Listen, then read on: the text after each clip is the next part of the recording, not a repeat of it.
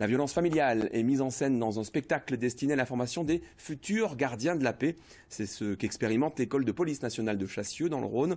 L'actuelle promotion a assisté ce matin à une représentation très pédagogique. Sylvie Bosquero et Valérie Benet y étaient. Tu, me hurles dessus, tu, m'insultes, tu, m'humilies, tu me frappes, il y, a un problème là. Sur scène, un couple que ronge le mécanisme de la violence. Dans la salle, un public inhabituel, une promotion entière du centre de formation de la police de Chassieux. Cette représentation fait partie de la formation de ces futurs policiers sur la sensibilisation aux violences familiales. C'est votre mari qui a vos papiers d'identité? Oui.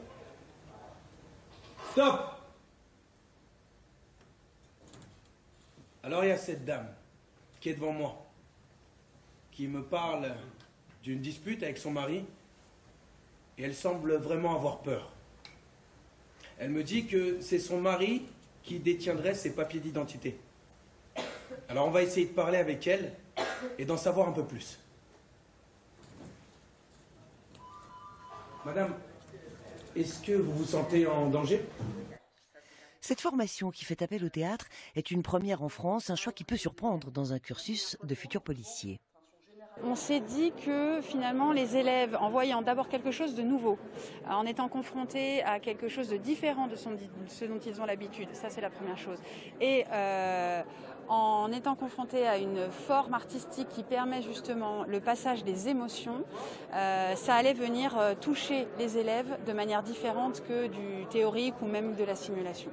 Et apparemment ça fonctionne, les élèves policiers sont d'autant plus touchés qu'ils retrouvent sur scène des situations qui constitueront 80% de leurs futures interventions. Je pense que ce genre de formation va ouvrir des esprits, je pense, et euh, justement euh, ouvrir des portes à des questions qu'on n'osait peut-être pas poser avant. On a abordé la partie théorique concernant les violences intrafamiliales.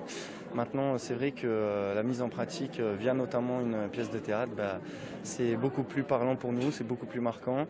Cette première session, mise au point avec une compagnie lyonnaise, sera reconduite l'an prochain à l'école de police de Chassieux et sans doute reprise à une plus large échelle.